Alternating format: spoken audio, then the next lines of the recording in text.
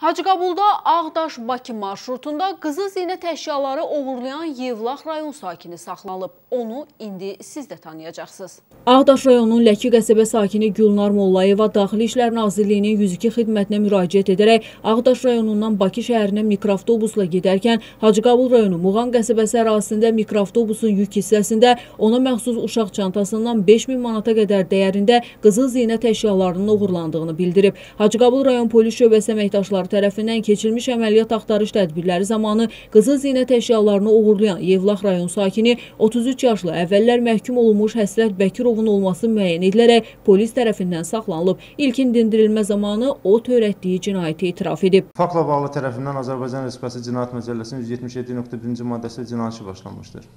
Həsrət Bəkirov tərəfindən oğurlanmış qızıl zinət əşyalarının bir qismi satmış olduğu şəxslərdən maddi sübut kimi götürülmüşdür. Aparıb satdım. Bakıda tanımadığım bir şəxsə satdım. Pulu xərclədim. Faktla bağlı cinayət işi açılıb araşdırma aparılır.